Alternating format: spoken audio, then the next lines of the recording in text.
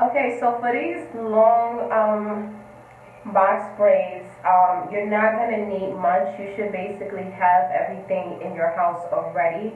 Um, but anyways, my hair is somewhat washed. I mean, it's been airing out for about a week. And what I mean by that is that I washed my hair last week and I did a um, little blowout just to stretch it a little bit because my hair is very, very super curly and I did my big chop maybe a few months ago. You guys should have already seen that video.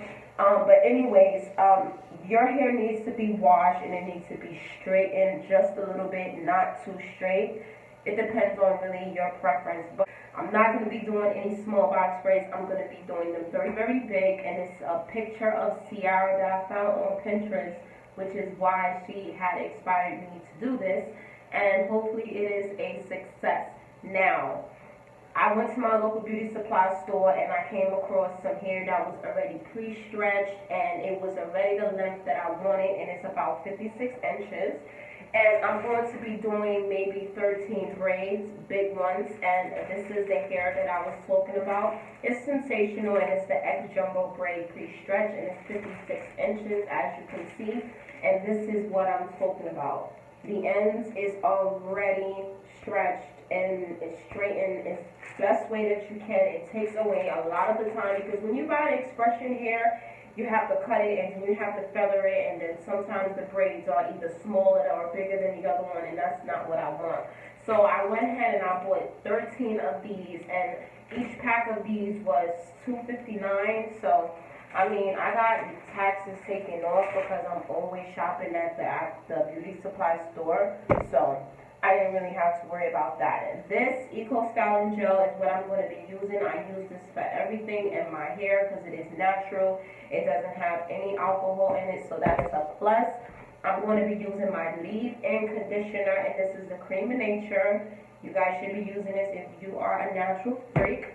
And these two um, edge controls by Style Factor.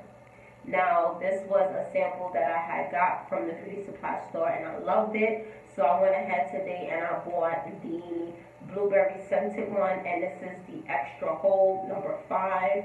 I don't know if you can see that, but this is what it tells you that it has in it already, the argan oil and everything, and it smells so, so, so, so, so amazing.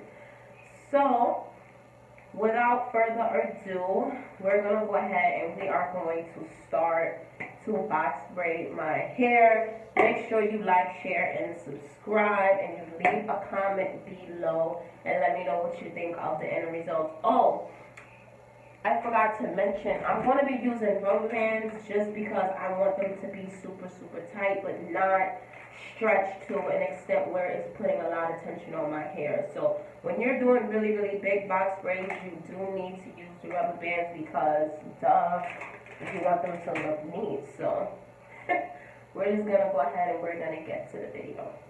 Let's go.